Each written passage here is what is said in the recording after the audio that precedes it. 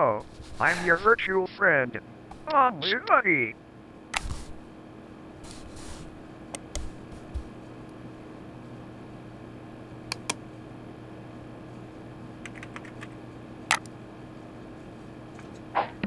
Would you like to continue your previous session of browsing Live Leak?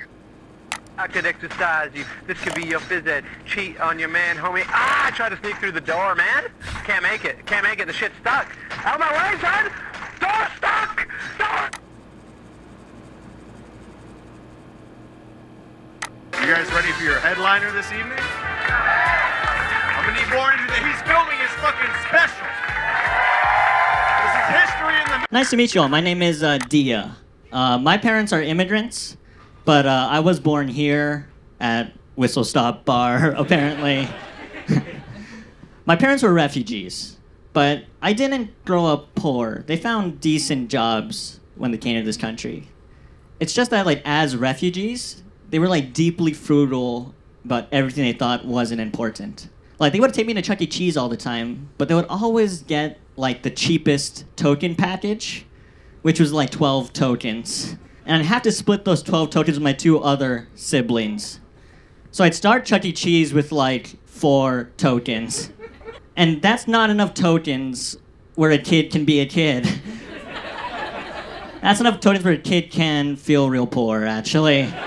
And the confusing part is my parents were reasonably well off, so I was only poor at Chuck E. Cheese. Do you know how confusing that is? I grew up in a two story house, but at Chuck E. Cheese, I had to play a lot of dry air hockey.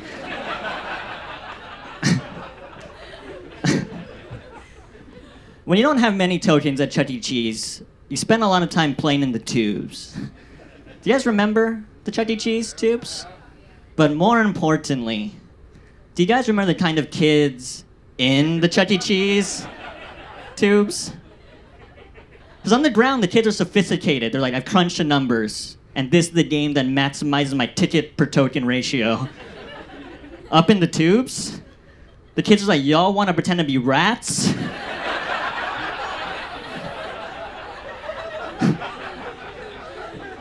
On the ground, there's like kids doing game theory. Up in the tube, there's a kid who's all he's doing is just blocking the tubes. You guys have this bridge troll at your local Chuck E. Cheese? Just post it up. You're trying to get around him, and he's like, first, you must answer these three riddles. and at least the kids at the front of the Chuck E. Cheese tubes, they're just the ones who've like ran out of tokens too fast, but they still want to get down to the ground with their friends. Have you ever gone deep in the Chuck E. Cheese tubes?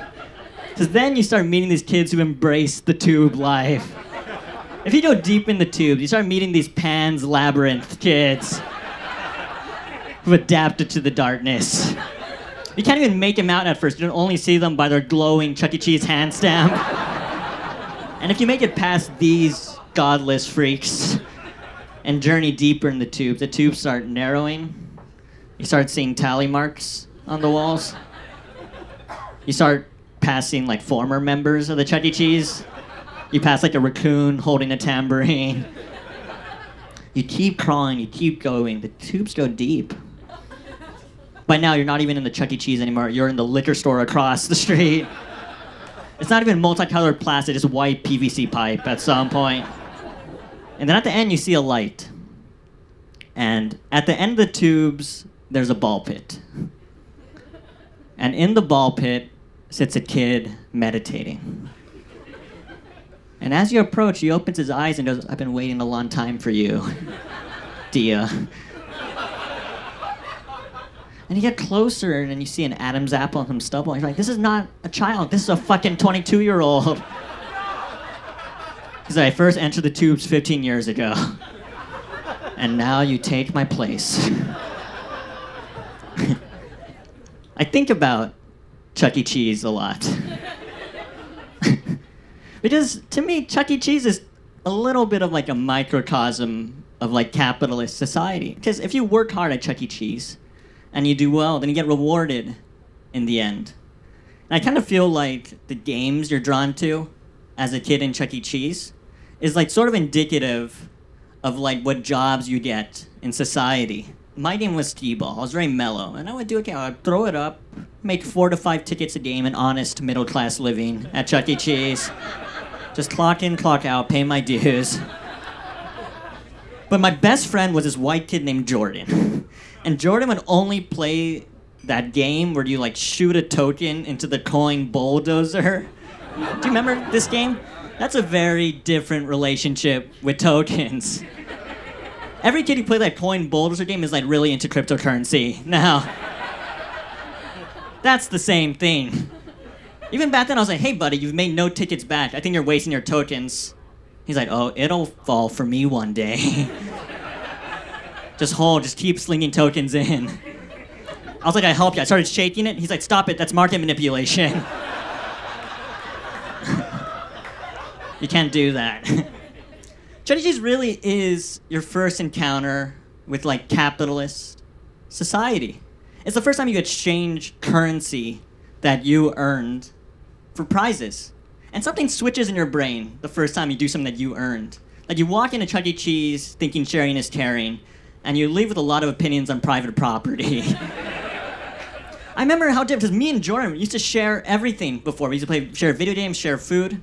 But that first time I spent 200 tickets and got that whoopee cushion, and Jordan was like, Can I see it? I was like, You never worked a goddamn day in your life, Jordan. You're a leech on society, and you're a leech on me. I really think that's what Chuck E. Cheese is there for. It's indoctrinate kids into capitalism. It's like Tucker Carlson for kids. That's all Chuck E. Cheese is. There used to be this like, animatronic Chuck E. Cheese, and there's like a button, and you press the button, Chuck E. says catchphrases. The first few times you press it, Chuck E. says pretty normal things. The first time he says anybody can be a winner. Then you then you press it again. He said save up your tickets and win a bigger prize. Chuck E. starts saying some pretty heinous shit after a while. By press eight, Chucky's like wealth from the rich will trickle down to the poor.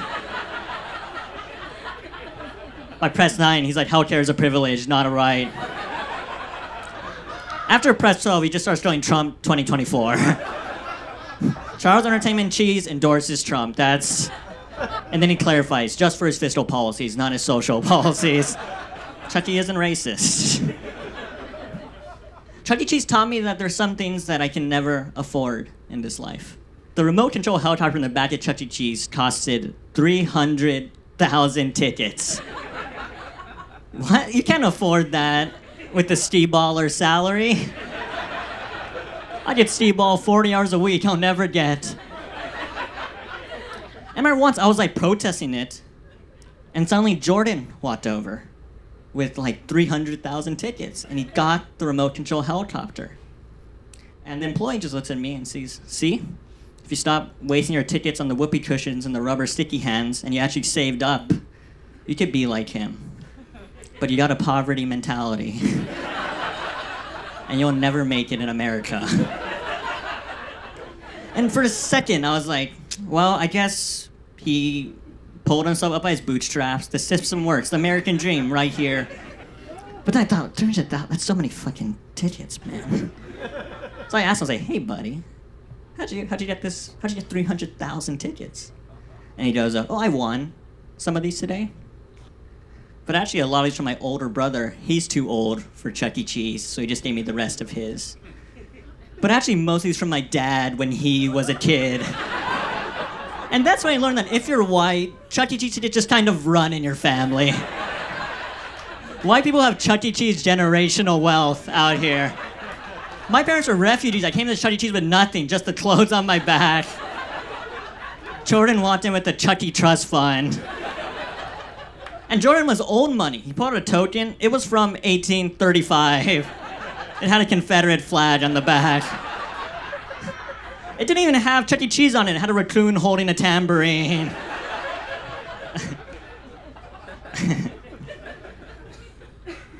I was at uh, I was at Dave and Buster's. No, I'm joking. I'll move on. It did teach me something. It taught me that that's like one of the main advantages of being like white in America is you get like access to like generations worth of like family connections and resources. And I never quite appreciated this until I started like applying for jobs. Like I remember uh, I was unemployed last year and I was applying to hundreds of jobs. And once I got rejected from a job 15 minutes after I sent the application in. Do you know how bad it feels to get rejected from a job for being unqualified? When you're already lying about your qualifications? like, nothing on that resume was true. That means that even the version me with two extra GPA points, three extra years of industry experience, and is a disabled protected veteran. even that deal was unqualified to become a Costco greeter.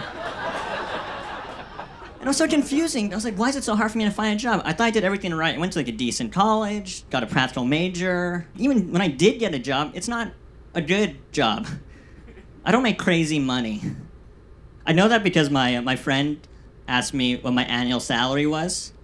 I had to go to one of those hourly wage to annual salary converters.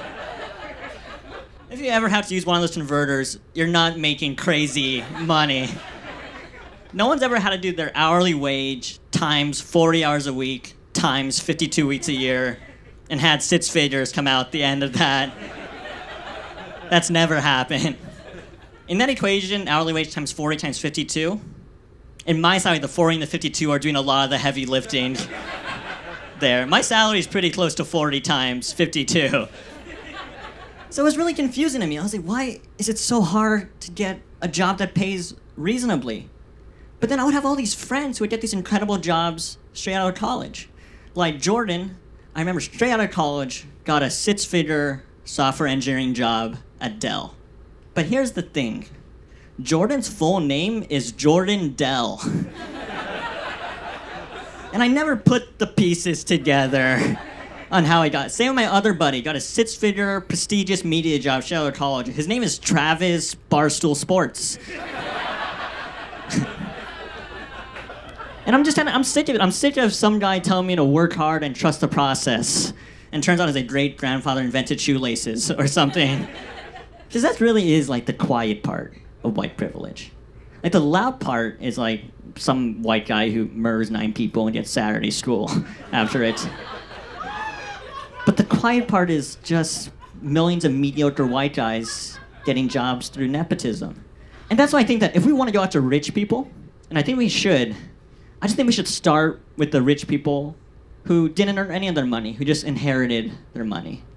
Like, instead of first going after Jeff Bezos, I think we should start by going after a man named Preston Bezos. Jeff's 19 year old son, who at 19 is already attending Princeton and is the CEO of his own startup engineering company. So I found Preston's Instagram and I bully him.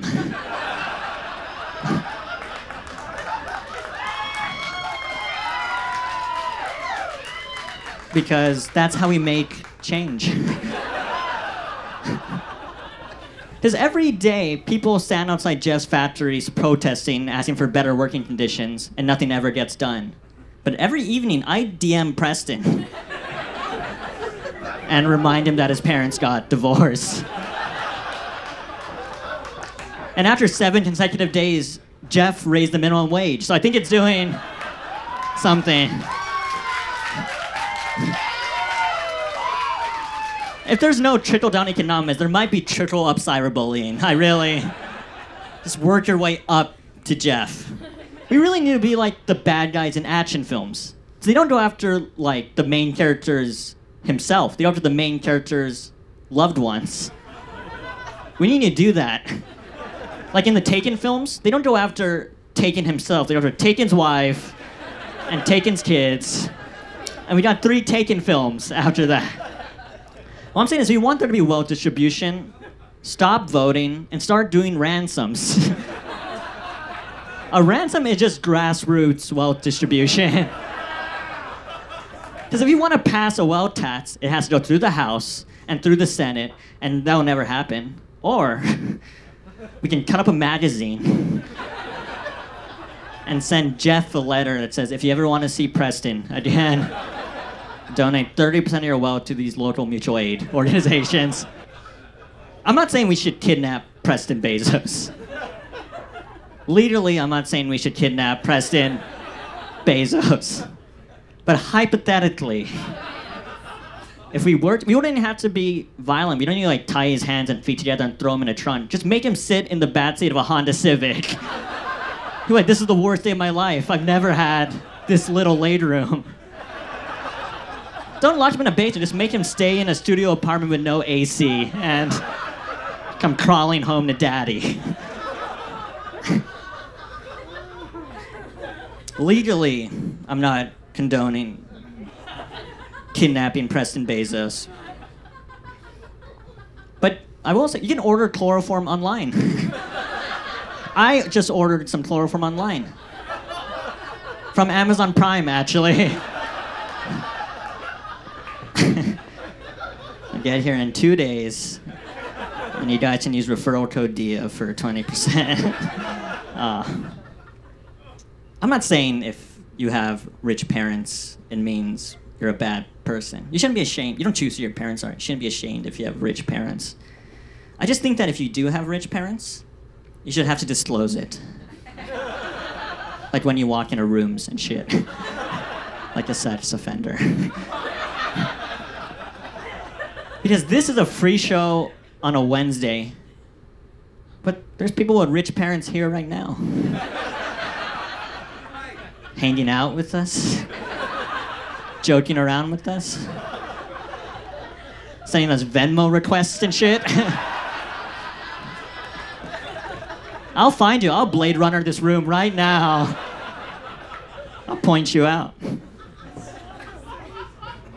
It's crazy. I started doing research for this joke about like nepotism, and it's it's insane how many successful people, if you just go like one step up in their family tree, it's just like a rich parent financing all of it. It's crazy how many musicians are just financed by rich parents. I think that's why musicians have stage names. It's not very punk rock when your last name sounds a lot like JP Morgan Chase.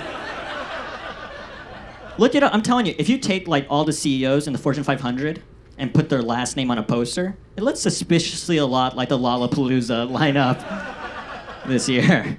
But it's every. It's all, not just. It's all successful people like Charles Darwin. He also. You think you can just go to the Galapagos on your own dime? And Darwin is sitting there writing like successful organisms pass their favorable traits to their offspring. Like, oh, I wonder what inspired that. Charlie.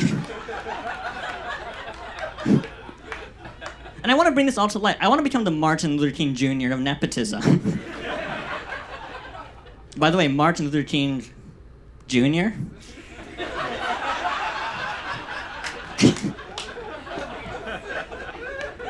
It's all nepotism. It goes so deep in this country. Like, you guys think it's a coincidence that the Messiah is also the Son of God? you think he earned that position based on pure righteousness? Who do you think is gonna get that position? The guy named Simon, Peter, or the guy whose last name is King of the Jews?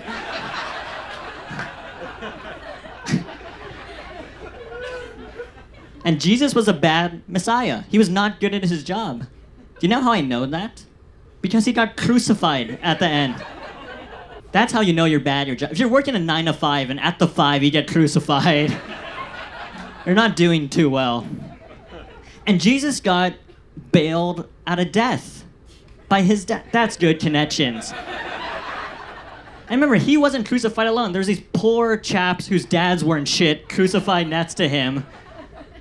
Jesus had to step over their body, being like, just trust the process, guys. Just.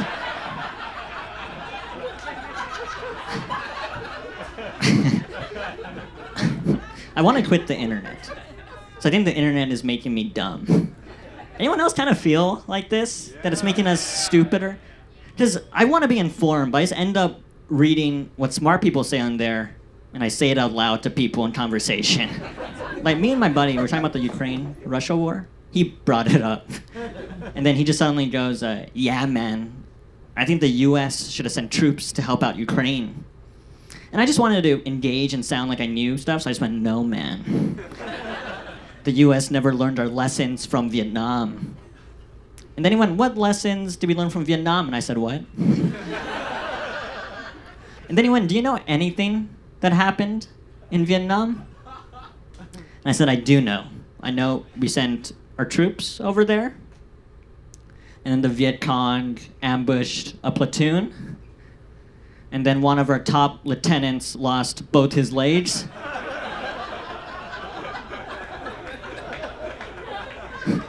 and then he started a shrimp business.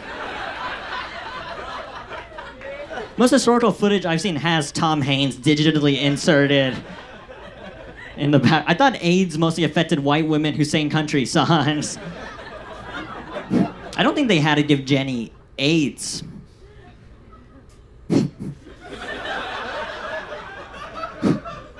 I don't have more to that statement. It just felt just felt a little forced to me. We get it's the 70s. Just give her the flu. You don't have to give her AIDS. I want to get off the internet. It's also just like, it's just bad because of how much sad shit is like on there. I had to start a GoFundMe page recently to help pay for my uncle's funeral, and it's already managed to go five thousand dollars, which is a bit bittersweet because the GoFundMe campaign for his heart surgery did not do nearly as well. He's still alive. He still wants the heart surgery. But we started the campaign for his funeral at the same time we started the campaign for his heart surgery. We were like, let the people decide what happens. And the people wanted him to have a bombast funeral. There'll be magicians. I'll do a set maybe.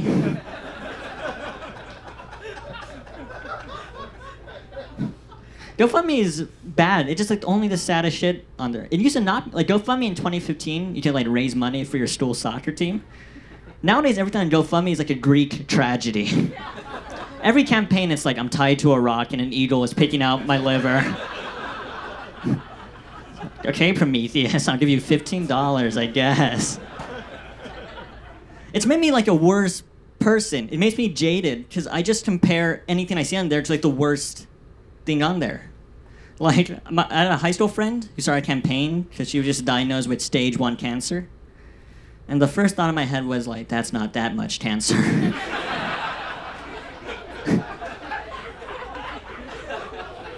You're bringing stage one to GoFundMe? The bid leads? You should let them metastasize just a little longer for bringing this pussy shit too. And she wanted $50,000. I don't know how much cancer costs. that feels like stage three cancer money to me. So, do you price match? Do you have honey? Can we haggle a little bit? It's really hard for me to quit the internet because I've been on the internet my whole life. I've been on the internet since 2005 when I was eight. And that's a bad time to be on the internet. That's too young. In 2005, it was just me and pedophiles. That was the internet just eight year olds and sexual predators. In 2005, this was before Chris Hansen caught them all. Do you guys remember To Catch a Predator? That's what it was called, by the way. To Catch a Predator. Not How to Catch a Predator. Not Chris Hansen catches predator. It was called To Catch a Predator. Why was it so literary? what an existential question. to catch a, to catch a predator or not to catch a predator. No, Chris, catch him. Catch him, I think. Catch him, Chris. In 2005, the, the internet was only three things it was predators, it was computer viruses, and it was two girls, one cup. That's all the internet. That's the holy trifecta. That's how you knew the internet was gonna be good, by the way. Because we all saw two girls, one cup, and we just kept using the internet. Like that's how good Wikipedia was. That we saw two girls, one cup, and you just hit Control T. like if this show started with two women eating each other's shit, you wouldn't be like, I hope Diya's good. Like, I'm never watching comedy again. I mean, 2005 was like the wild west of the internet, but I kind of miss when it was like anonymous. I think it's actually better than how the internet is nowadays. I had my first relationship on the internet way back then. I was uh, I was nine year old boy pretending to be a 19 year old man, and my girlfriend was this 19 year old woman who I'm realizing now was probably also a nine year old boy. we hit it off a little too well, you know. Like our favorite things are both drinking beer and Toy Story 2. now I really miss a lot of the old internet, even computer viruses. I kind of felt like they were important. They were important at stopping stupid people from going down like internet rabbit holes. Because right now, I feel like half the anti-vaxxers and all these conspiracy theorists are just people who Google something and they just get like the best manifestos. There's no more computer viruses now, by the way. They've been eradicated. you know how I know that? It says my dad wanted to watch like the NBA playoffs, but he doesn't have cable. So what he does, he goes on Google and types in illegal NBA streams free. and he clicks the first link, and it works incredible. He sees all the playoffs. If you never use one of these like illegal sports streams, they're great quality. They don't lag. There's one downside. There's a chat box where people just say the N word. That's the only point. It's distracting. You're trying to watch the game, and out of the corner of your eye, your dad calling LeBron the N word. Stop it, Dad.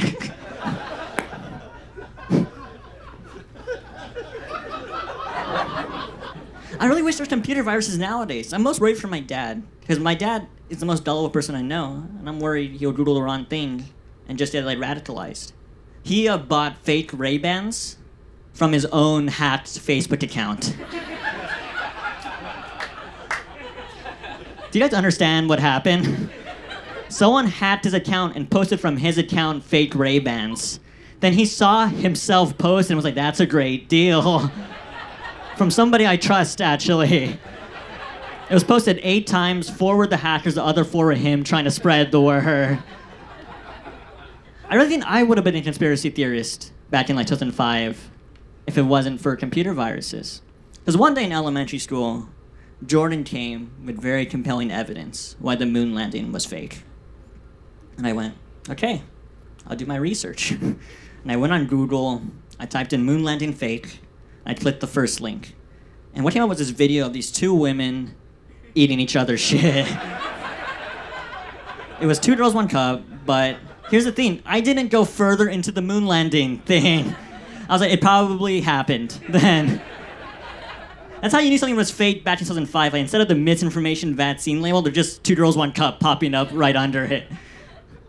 I really think there is this like connection between like technological illiteracy and like having poor views. I think they come hand in hand. Because one day uh, during family dinner, my dad, no one's talking, and my dad just blurts out, "You know how we stop racism?" and he goes, "Racism will go away if we just stop talking about it." I feel like the people who say that racism will go away if we just stop talking about it are for some reason all the same people who think that switching off the monitor shuts off the whole computer. Racism has been around for thousands of years, and my dad's computer has been on for about the same amount of time. I'm I'm 25, and uh, I'm single, and I feel the clock ticking a little bit. I feel like I'm running out of time. but the reason is, is I refuse to be over 30 and single. And I have a good reason. I think that if you're over 30 and single, you're pretty embarrassing to be around.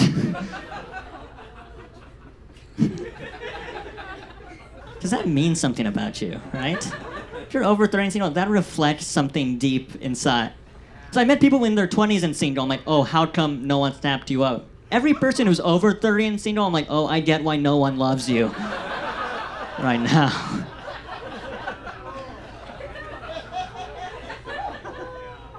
and it's your personality. It's it's the inside that counts, and it's the inside that's been rejected from companionship. I think we should. Uh, I think we should draft people who are over 30 and single into war. I think, just so they feel chosen for once. Also, get these fuckers out of here. They're fucking up the vibe. Osama was married. Bin Laden. And he lived in a cave. What's your excuse?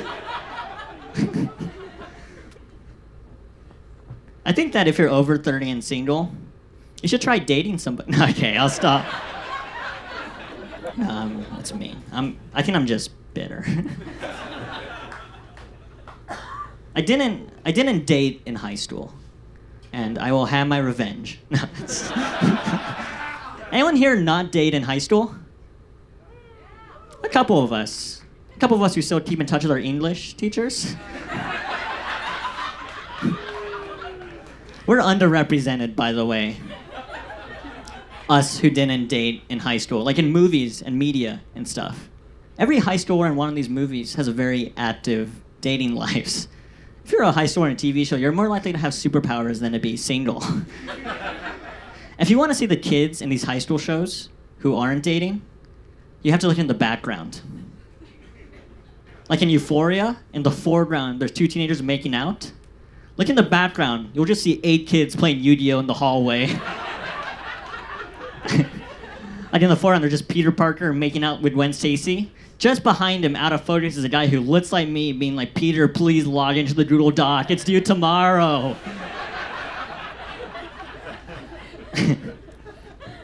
I didn't date in high school, but uh, I sort of wish I, I feel like I missed some important developmental step because I'm dating my mid twenties, and the dates are too adult for me. I'm, I don't I don't feel mature. I don't really like my last date. This is what we did. We went to a cooking class together, and then after we went to a used bookstore and bought each other books.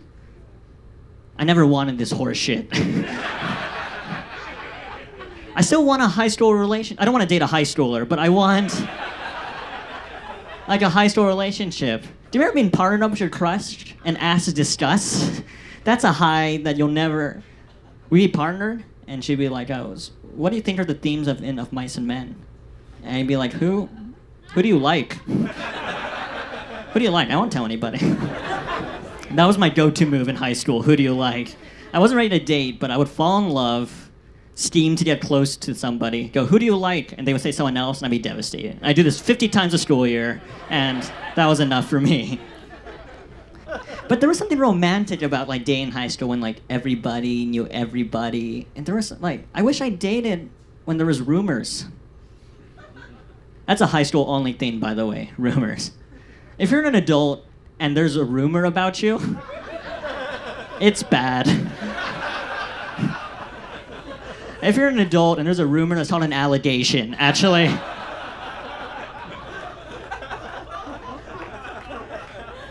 but you used to be able to like announce a relationship on Facebook.